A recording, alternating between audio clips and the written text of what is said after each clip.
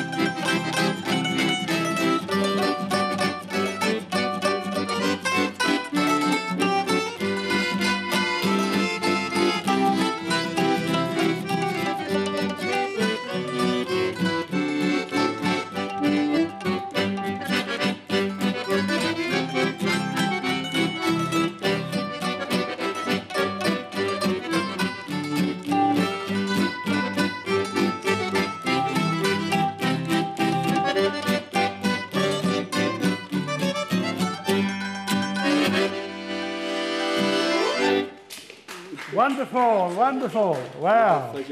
Now, just for a very short poem, maybe Mariano Coreno would like to come over and uh, concentrate uh, on, uh, on our poetical side of uh, the afternoon. Mariano Coreno will speak about Australia today. Here he is. Thank you very much. Grazie Tom per la presentazione. Io non parlo della mia poesia, cioè non ho preparato niente di particolare di me stesso in questa occasione che si festeggia Australian Day, ma ho sempre detto pubblicamente che io ho due mamme, l'Italia e l'Australia, cioè le amo tutte e due, non faccio confronto, è più bella l'Italia, è più bella l'Australia, no, si amano tutte e due e basta. E la cosa finisce qui. Perché è bello avere due mamme ed è bello avere due culture. Anzi, noi siamo fortunati che abbiamo due culture, l'inglese e quella italiana. Eh, io vorrei parlarvi brevemente di una poetessa australiana, una delle prime poetesse, Mary Gilmore. Mary Gilmore, nata nei pressi di Goulburn, New South Wales, nel 1865, quindi molti anni addietro. Da giovane ha lavorato come insegnante e poi come giornalista. Ha speso alcuni anni in Paraguay, confinante con l'Argentina, per un progetto politico ideato da alcuni dirigenti del Partito Laborista di allora. Poi finito male questo progetto. Proprio in Paraguay si è sposata con un personaggio della colonia spagnola, William Gilmore, da cui ha preso il cognome. Al suo ritorno in Australia, esattamente nel 1908, ha creato la pagina della donna per il giornale Worka, curandola per 23 anni. Una donna che fa giornalismo e che cura una rubrica per 23 anni, una cosa straordinaria. Ha pubblicato ben 10 libri di poesie. Nel 1937, per meriti letterari, le venne conferito il premio Oda of the British Empire, quindi molto famosa. La Gilmore è rimasto un segno nella storia australiana poiché è stata sempre attiva in campo letterario, politico e sociale e poi difendeva le donne, era la voce delle donne, quando le donne incominciavano appena appena a parlare, perché quel mondo, quel periodo era dominato dai maschi. Morì nel 1962 alla bellezza di 97 anni. 97 anni, ecco perché ha avuto tanto tempo per scrivere. Va bene, io adesso vi leggo soltanto una breve poesia di Mary Gilmore, però non l'ho tradotta in italiano, la devo leggere allo stato originale.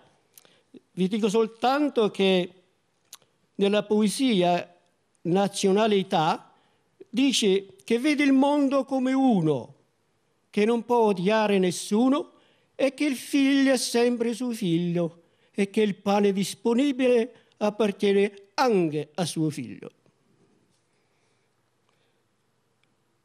Nationality. I have grown past hate and bitterness. I see the world as one. Yet, though I can no longer hate my son, still my son. All men at God's round table sit, and all men must be fed. But this loaf in my hand, this loaf is my son's bread. E questa è la poesia di Mary Gilmore. Poi ritornerò con un'altra poesia nel secondo tempo. Grazie. Grazie Mariano, fantastico. Hope you enjoyed the second segment uh, because uh, it's true that when we celebrate Australia Day, we remember our history. And the more we delve into it, the more we discover. Each year we celebrate on the 26th of January. Let's keep it going, all of us together, remembering everything that happens in Australia, good and bad. After all, a nation, like people, is made up of all sorts of good and bad things. They're all part of our history.